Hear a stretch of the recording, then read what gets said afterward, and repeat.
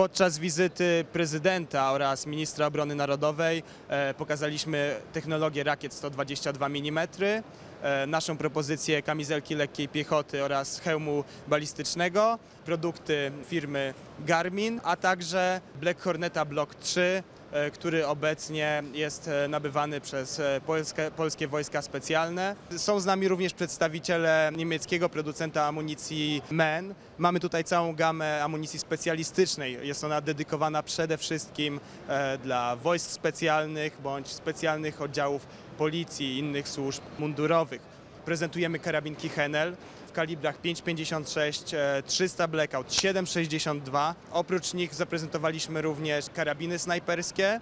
Prezentowaliśmy także całą gamę produktów firmy Garmin, od e, różnych rozwiązań GPS przez e, zegarki. Przygotowaliśmy kamizelkę, która jest lekka, czyli ma pomagać żołnierzowi w przenoszeniu całego ekwipunku, a nie być dla niego dodatkowym ciężarem. Jest to plate carrier z płytą balistyczną klasy czwartej, która chroni przed pociskiem 7,62 lub 308, łącznie z pociskiem przeciwpancernym e, lub multihitem.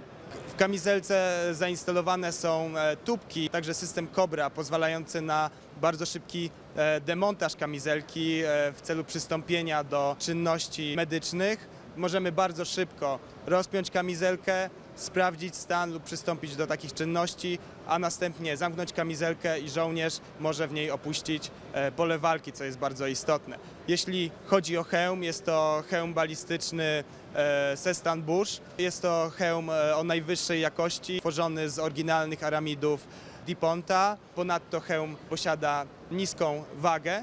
Co istotne w całym tym rozwiązaniu, obecnie zamierzamy rozpocząć produkcję zarówno hełmów balistycznych, jak i e, poszycia do kamizelek, w tym e, płyt balistycznych na terytorium e, Polski. Za mną znajdują się karabinki marki Henel w kalibrach 5,56, 7,62 oraz 300 Blackout. Ten trzeci jest nowością. Jest to bardzo dobra alternatywa, e, jeśli mowa przede wszystkim o karabinku 5,56 za e, karabinki HK416. Są praktycznie identyczne, różnią się kilkoma detalami. Henel dodał także kilka swoich e, patentów mogących polepszyć użyteczność tych karabinków.